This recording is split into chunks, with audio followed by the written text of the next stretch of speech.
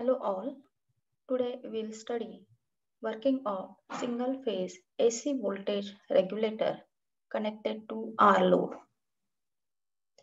What is a AC voltage regulator?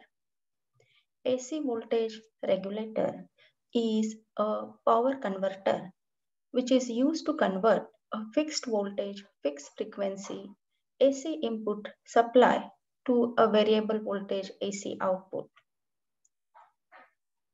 It consists of power electronic devices such as thyristor or triac. The RMS value of the AC output voltage and the AC power flow to the load is controlled by varying the firing angle or triggering angle alpha of a thyristor. Now, what is the application of this AC voltage regulator? AC voltage regulator, it is used in motor drive system. It is used in industrial heating and domestic heating applications. It is used in electric furnaces heat control. It is also used as light dimmers.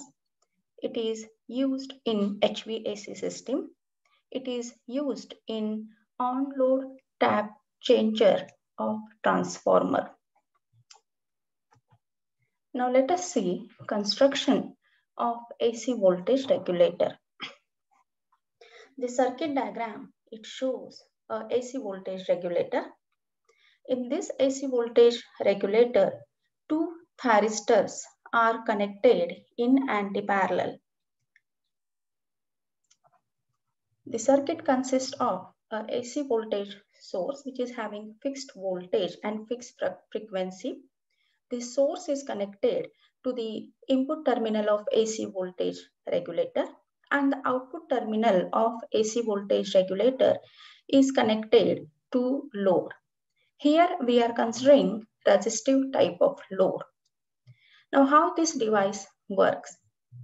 So in AC voltage regulator, as these two thyristors, T1 and T2, these are connected in anti-parallel. So one thyristor will conduct during the positive half cycle of input voltage and the other thyristor will conduct during the negative half cycle of the input voltage. Now here I have shown the input voltage Vs. Then the triggering pulse is provided to thyristor T1 and thyristor T2.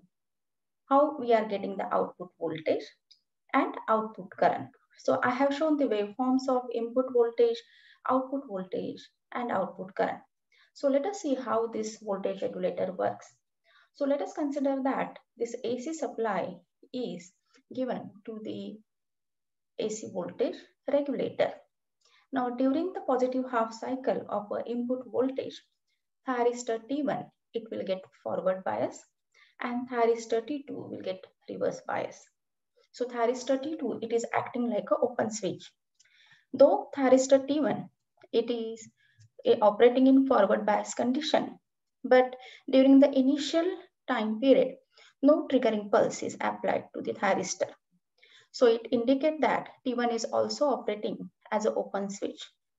That's why there is no connection between the load and the source and no current is flowing through the load and no voltage is appearing across the load. At firing angle alpha, triggering pulse is provided to thyristor T1. With this, thyristor T1 starts conducting and with this, the load will get connected to the source and hence the current starts flowing from source through T1 to the load. With this, a voltage starts appearing across the load. So this voltage waveform and current waveform during the positive half cycle of input voltage is shown here. Now at instant pi, the current flowing through this circuit will get reduced to zero and the voltage applied to thyristor T1, it will also get reduced to zero. And after this instant pi, the voltage will get reversed. So at instant pi, current flowing through thyristor T1 will get reduced to zero. So a natural commutation takes place in thyristor T1 and T1 will get turned off. From instant pi to 2 pi, a reverse voltage will get applied across this regulator. For this reverse voltage, thyristor T2 will get forward bias and thyristor T1, it starts operating in reverse bias condition. Again from instant pi to pi plus alpha, no triggering pulse is provided to T2. So it is also operating like an open switch and there will be no connection between the load and the source. At instant pi plus alpha, triggering pulse is provided to thyristor T2 and T2 will get turned on. With this, the load will get connected to the source through T2 and current starts flowing from source through load through T2 back towards the source. Now during this operation, the direction of current flowing through load will get reversed and the voltage applied across the load will also get reversed. So the voltage appearing across the load is reversed and the current flowing through the load is also having a reverse direction. Again at instant 2 pi, the current, source current and source voltage will get reduced to zero and a natural commutation takes place in thyristor T2 and T2 will get turned on. Again from instant 2 pi to 3 pi, a positive half cycle is appearing across the voltage regulator.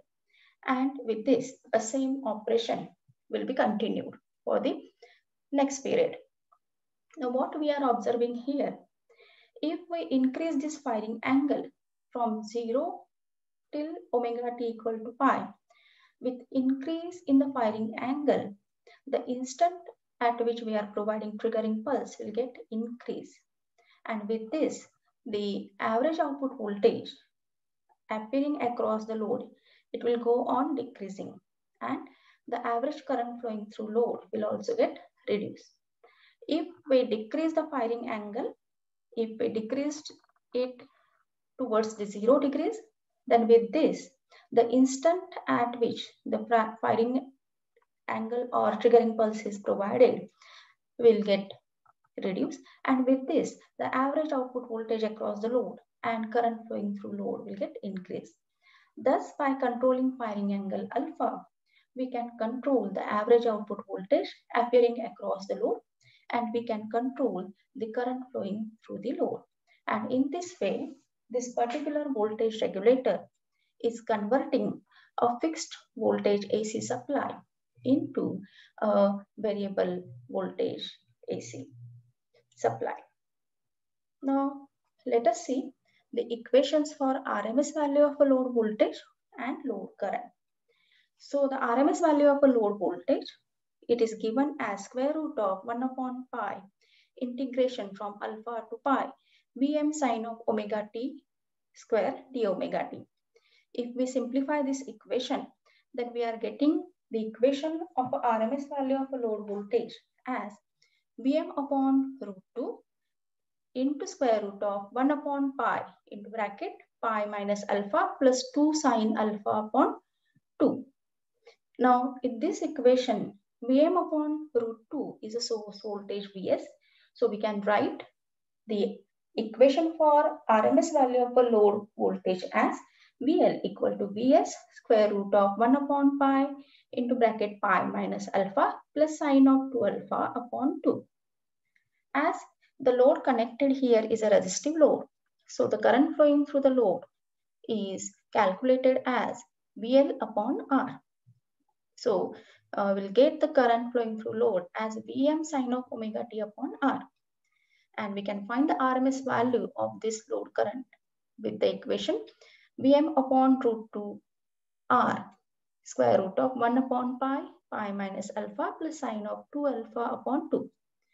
Or if we take this square root inside this square root, then IL becomes equal to Vs upon R square root of 1 upon pi into bracket pi minus alpha plus sine of 2 alpha upon 2.